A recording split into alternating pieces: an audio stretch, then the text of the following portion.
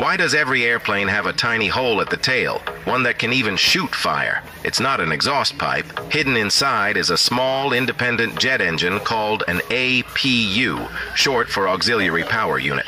When a plane is parked at the airport and the main engines are off, the APU acts like the aircraft's backup heart, supplying electricity and compressed air to keep essential systems running. When the APU starts up, you might see a small burst of flame shooting out of that hole, because it really is a miniature jet engine.